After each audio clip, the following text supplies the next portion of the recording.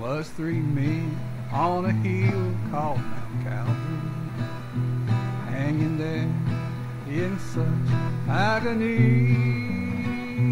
On the right and on the left, both were sinners, but the man in the middle was there for me. Yes, that man in the middle made the and bore all the pain. He suffered that we could go free. Yes, that man in the middle made the difference for me.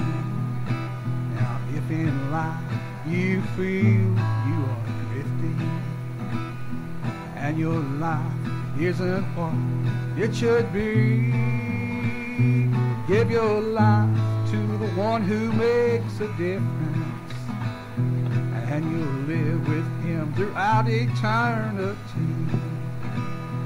Yes, that man in the middle made the difference. Yes, he hung there and bore all the pain.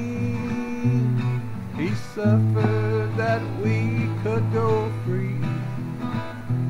Yes, that man in the middle made the difference for me.